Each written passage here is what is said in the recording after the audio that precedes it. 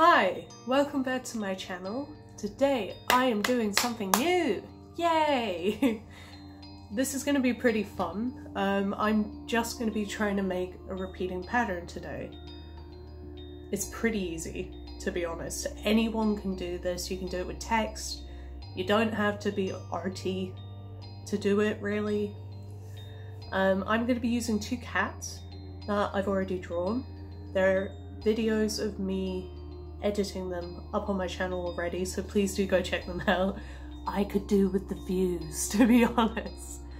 Also, I'm going to be doing it on Photoshop because apparently this is a Photoshop channel now. You can do it with that. You can use the same software, you can download it yourself.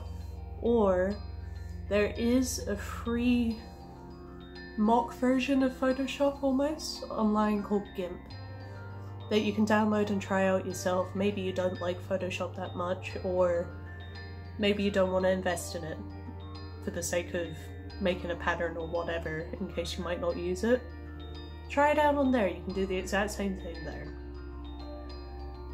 Also at the end of this video I'm going to be showing you how to put the uh, pattern together on Redbubble so it looks good because that's what I'm using this pattern for. I'm using it for Redbubble to cover like like bed sheets and shower curtains and things like that that are like big because I don't draw like this big.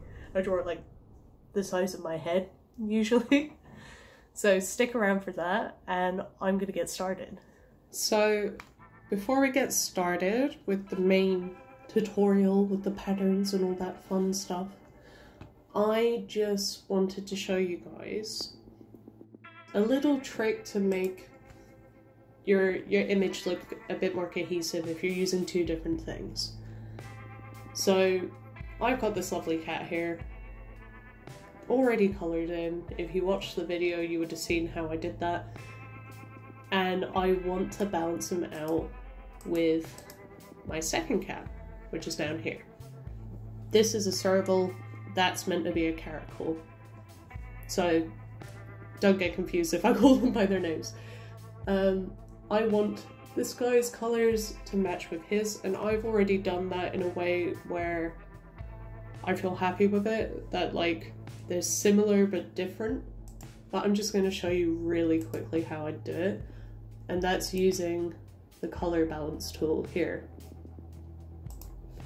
The way it works is you move these sliders around and it will balance all the colors on the screen towards tones that are more, say, magenta or green, blue or yellow, and it will mix them so that it works.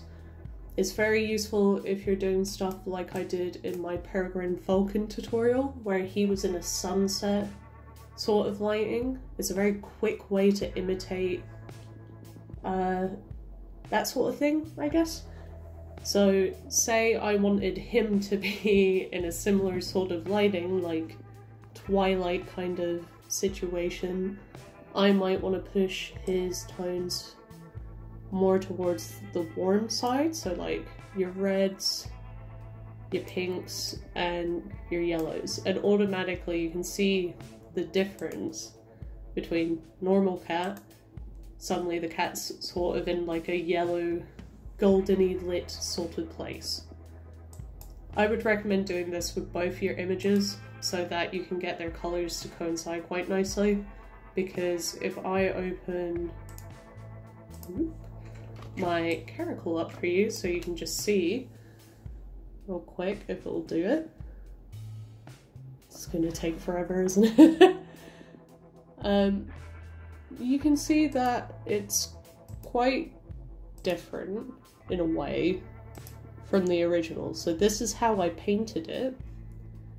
This is what it looks like with the adjustments after. It's subtle, but it's noticeable when it's printed. And because these things are going to be printed eventually, I want to make sure that my colours are good. You might have also noticed that there isn't a background on my images right now. That's what this checkerboard means for people that might not know a lot about Photoshop. This is it with a background this is it without a background. Um, that is because when your images are ready, you want to export them here. So file, export as a PNG. A PNG is different from your regular photo file. It just has the ability to have a transparent background. And that's what we want. We want this to be like a big sticker that we can move around and adjust as needed. When you're exporting it, just make sure that you have PNG selected, not any of these other things. And transparency. You'll get a clear background image. You can just hit export, name it whatever you like, and then you're good to go to start off for this. I'd also make sure if you're doing this with a line work image that you've drawn like I am with a lot of different weights so I zoom in a little here. My outline here. Sorry let's yeah this is a nice little pointy boy. My outline here is a lot thicker than my hair texture my dot work and even some of my secondary lines, like its markings and that, they're actually all different depths. And it's the same on the other one. You want to make sure that they are roughly the same size. You can do this while you're drawing it as well. You can scale it up to whatever drawing you did first and make sure it's roughly the same size and that you're using the same kind of line techniques so that when you adjust the size of them, they don't look like two completely different drawings. They look like they were made with the purpose of being a set. So for instance, I've left the teeth quite plain, but the, the lips on both of these guys have these lines on them. Things like that, stylistic choices. Keep that in mind before you start drawing. And when it comes to editing, so obviously I've been fiddling with these guys so they're not just now, I would line them up together, like so, and just, you know, compare sizes of things, compare the sizes of their eyes, compare the sizes of their mouths, their noses in this case. How tall are they? These are roughly the same height, but in this instance, his head is a little shorter, so I might want to scale him up, like I just did. But then it could be that you realize, oh, his eyes are too big now, so and so forth.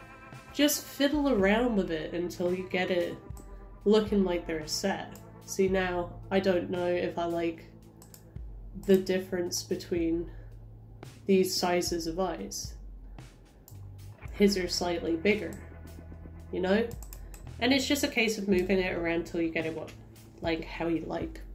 Once you've done that, you can start your pattern and it's very easy to do. So, how do we make a repeating pattern? It's not that hard, it's just a bit fiddly.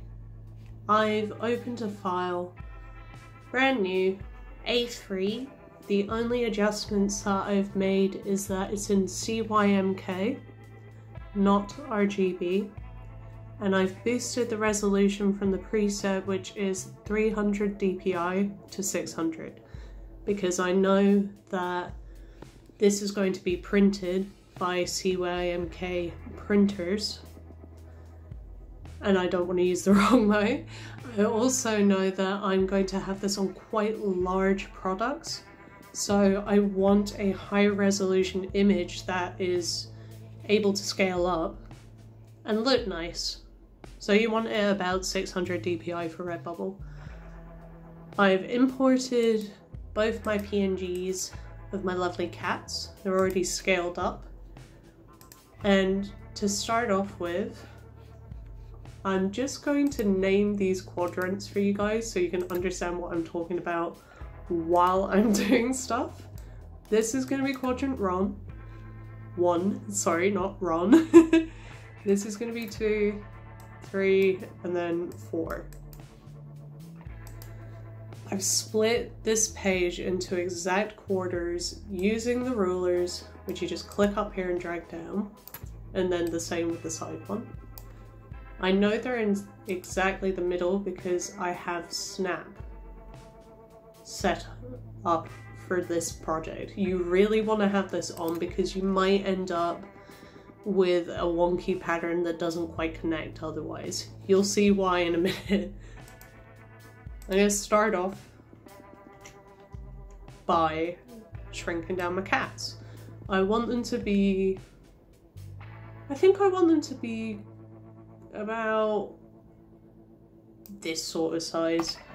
And I'm just going to do it with both of them. I'm going to get them up beside each other and make sure that they are roughly the same size. Because they are quite big. They themselves are actually a little bit under A3 size.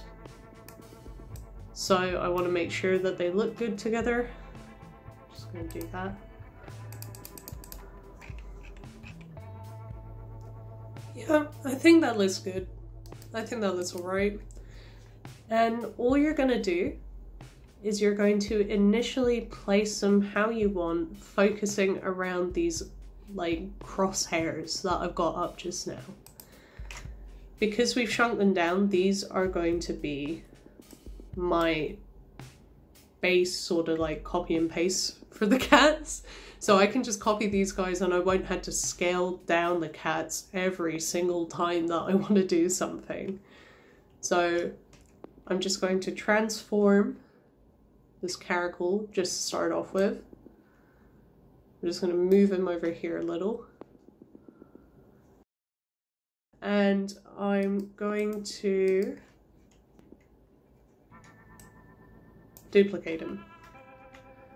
It's the same as doing copy and paste.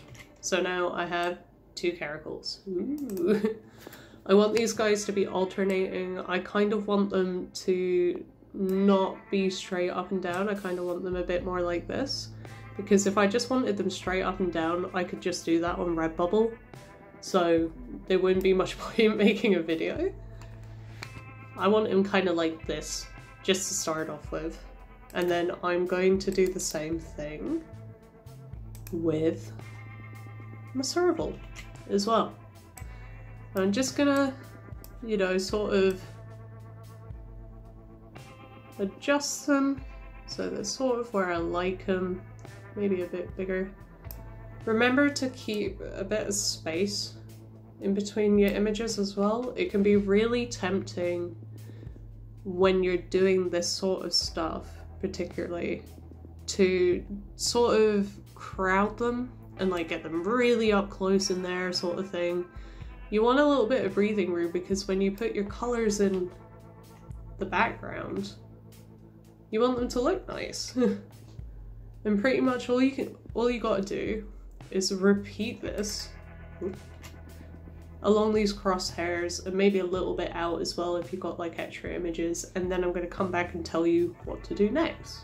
Hi, and so I've had to fiddle around with these. I've been kind of trying to get them to look the way I want. But for the sake of just showing you guys how, I'm just going to leave it at this. I'm going to put all of my cats into a folder. Oh, whoops. I did not do that properly.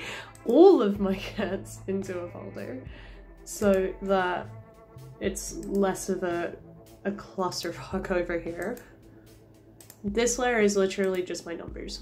So this is where these quadrants come into play because the pattern we've just made is actually going to go around our final image. Is These are going to be the cats that connect all of my pattern together. They're going to be the connector things. The way you achieve that is you take your group merge it into one image. I would recommend that you duplicate it, so don't do it like straight up what I just did. Um, and pretty much you can just click on your big old folder that you've just made, dupe it, and then hit merge group.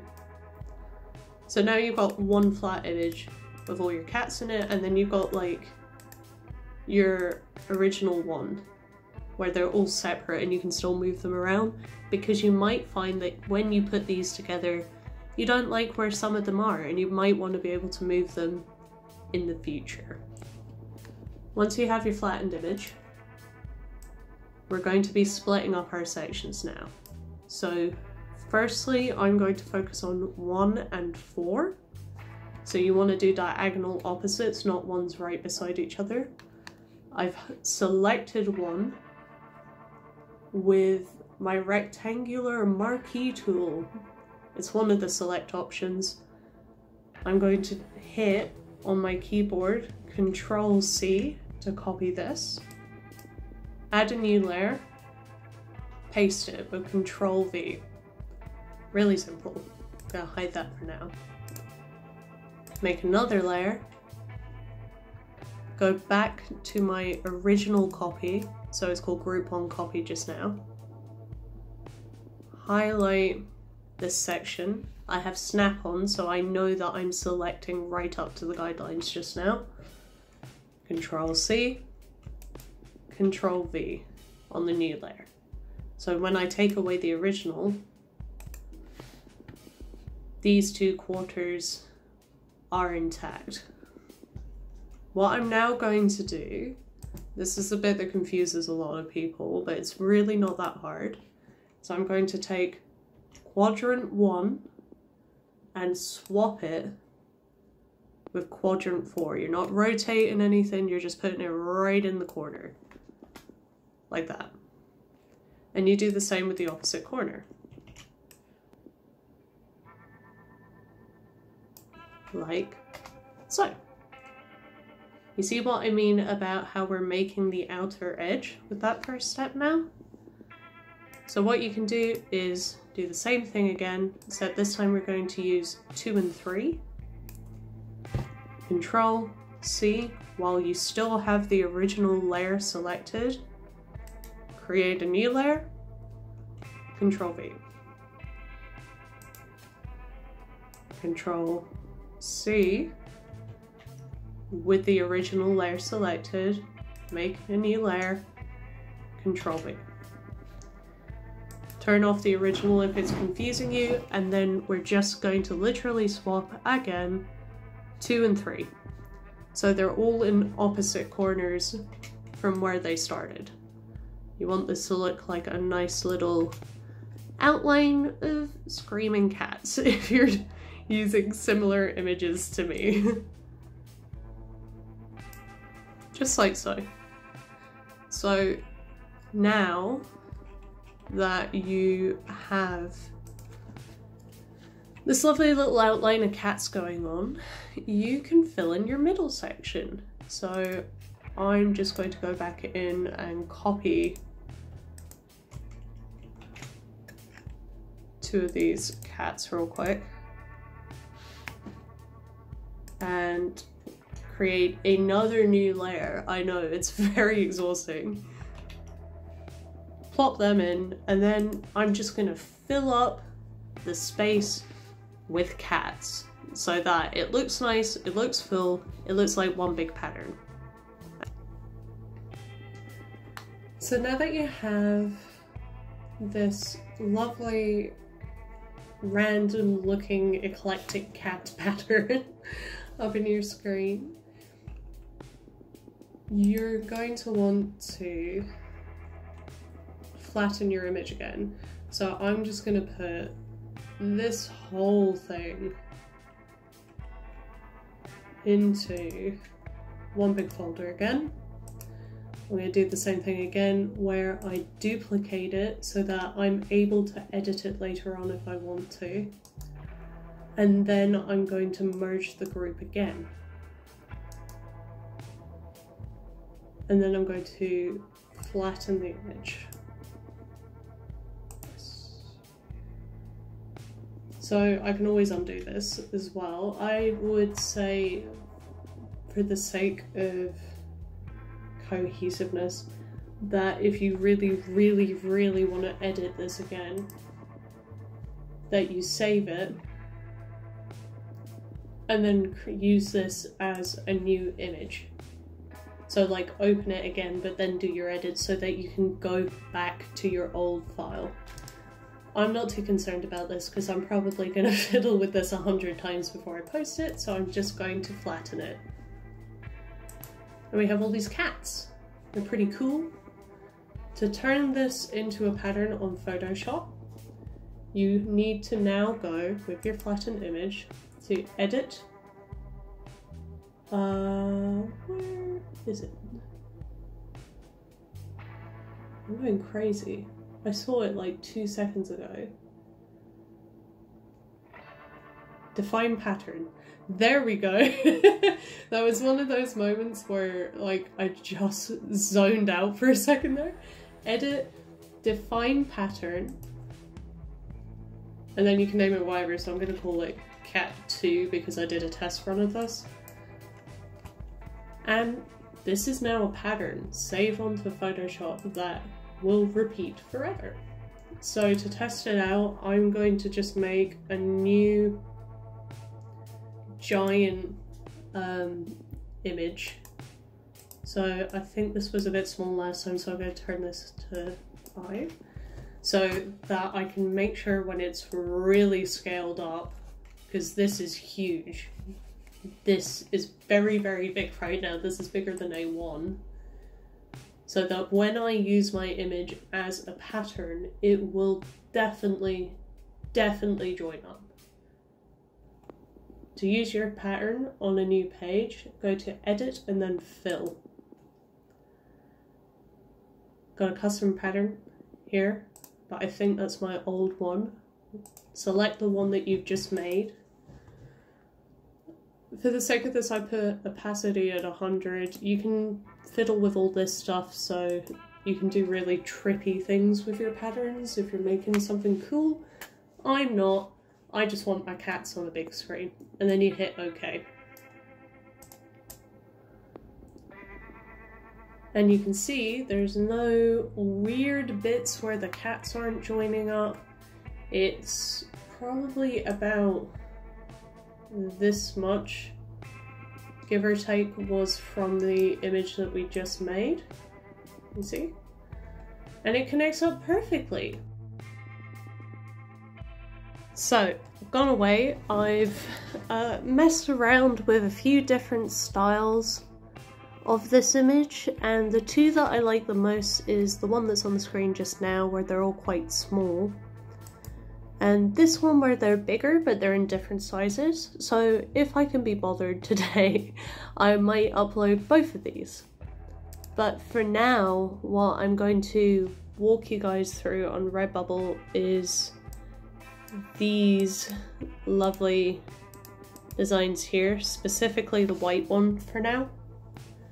And just sort of oh how I go about you know, putting all my stuff onto these different images and like sizes and scales of products. You know? Firstly, you just want to go on your Redbubble account to add new work. It's pretty straightforward. And upload to new product. Or bleh, upload to all products. Pick the file that you want. This is the small cat, so I've already saved it so that you don't have to watch all that boring stuff and it's going to upload onto everything to start off with. I usually select design and illustration and digital art for my colored drawings and then for my black and white ones I'll do drawing because that's important for your visibility. Name it whatever. Your tags are the things that people will type into the search bar up here to find your stuff. So I usually put my name and then stuff related to like what's on the shirt like the breed or cat or things like that and then just a brief description. So most of my stuff works on the standard print clothing. I knew in advance that this one wasn't going to, so I'm going to disable both of these. The ones that it will work on are the sleeveless tops and all the chiffon and graphic sort of ones like this because it wraps around and duplicates your design um, over the whole space of the garment rather than just like a select square in the middle like these two do. You can zoom in on them. If you feel like your cats aren't quite big enough because of the size that I'm using this with, I have the option to zoom in a little. I tend to just leave it the size that it goes onto the shirt just for the sake of cohesiveness with the other products on the site. And it tends to be that they are scaled to the correct size when I put them on here anyway. Then what I do is I always look up here as well as down here when I'm adjusting where things are sitting because it might look right on here and suddenly you look up at the preview and you're like, oh, I don't like this cat ear here or whatever.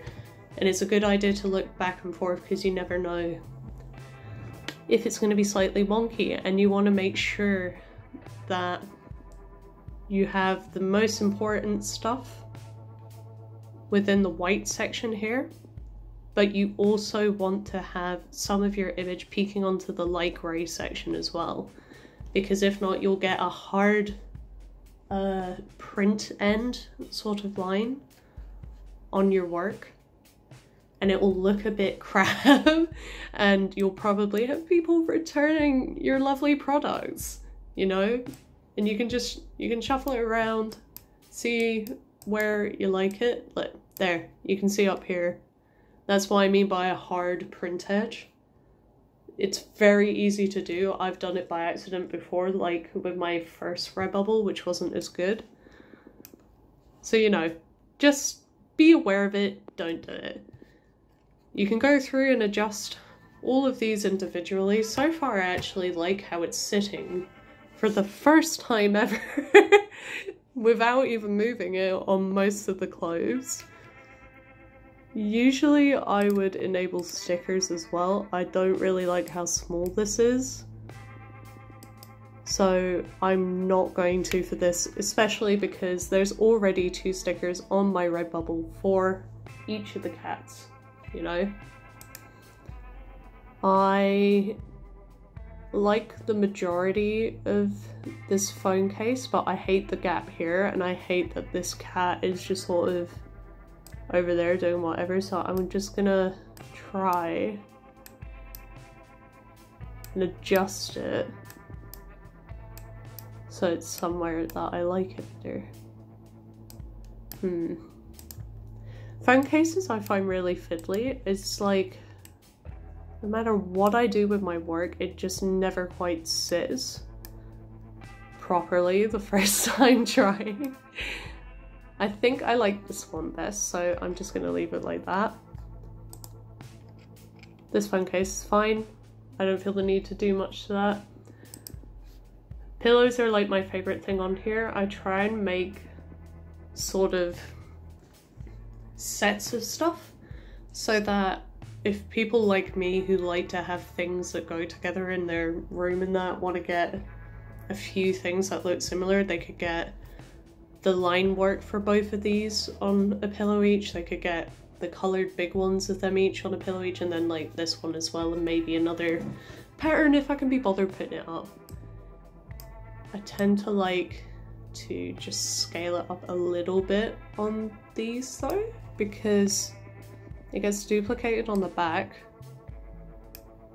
and I just think it looks slightly better. This looks a little crazy here, but this looks a little neater and you can go through and do it on both of those. I'm not going to bother just now. This is why I wanted to do a big repeating pattern though. Because the shower curtains, the comforters, the duvets, and the curtains uh, on Redbubble are huge. They're big pieces of fabric. They've got a lot of things to cover. And I wanted my image to cover as much area as possible while still looking good. And I think it looks great right now, which makes me so pleased because that's what this was designed for, you know?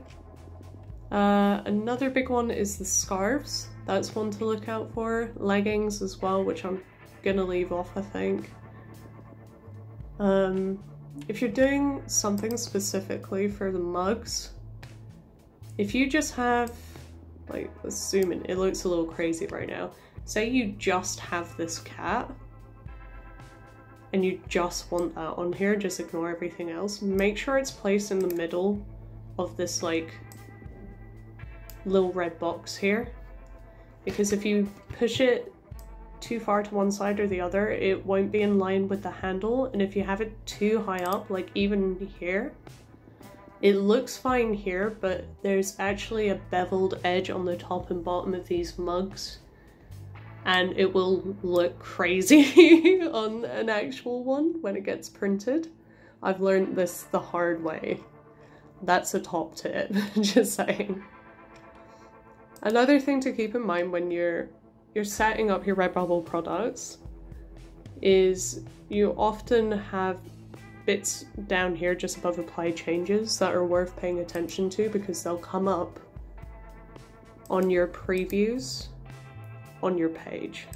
So for the clocks, I tend to like the black around them the best because my my stuff has black outlines on like everything, so I think it's cohesive and nice to look at. You can also change the color of the hands and stuff, and same with the mugs, you can change what preview they see first, and it's very important to make sure if you do do this with just one image that you click this box because otherwise they're just going to see a blank mug. I think this one, yeah, this one's the same as well. It's like a travel mug thing, I think. Um, things like the socks, you have to be careful with the template as well because you might just have a cut down the middle. It's not really a lot you can do about it, to be honest. You just have to be careful about it and aware of it. But if you're doing a pattern like this, it looks good on pretty much everything. It's one of the beauties of doing it this way. I'd highly recommend trying it out, and I hope you've enjoyed this video.